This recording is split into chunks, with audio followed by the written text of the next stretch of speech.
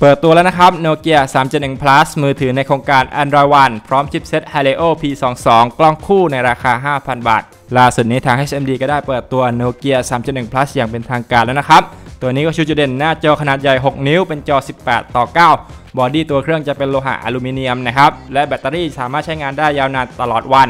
นอกจากนี้มีการอัปเกรดมาใช้กล้องคู่ด้วย และยังเป็นสมาร์ทโฟนในโครงการ Android One นะครับสเปคโดยรวมตัว Nokia 3.1 Plus จะใช้หน้าจอ 6 นิ้วเป็นจอ 18 ต่อ 9 ความละเอียด HD Plus ใช้ชิปเซ็ต Helio P22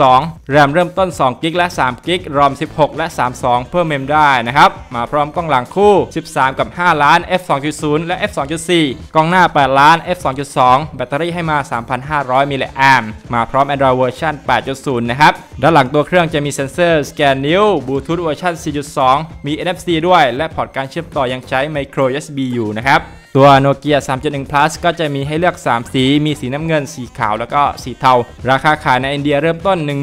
11,499 รูปี หรือประมาณ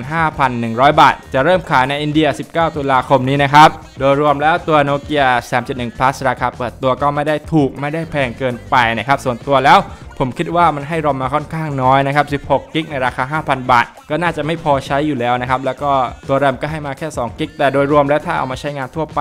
ตัว 3.1 plus มันเป็นมือถือ Android One มันน่าจะใช้งานได้หลายลื่นอยู่แล้วนะครับ อันนี้ก็ต้องคอยติดตามว่าจะมีการนำมาขายในบ้านเราด้วยหรือไม่ และถ้ามีข้อมูล ผมจะรีบอัปเดตให้ทราบ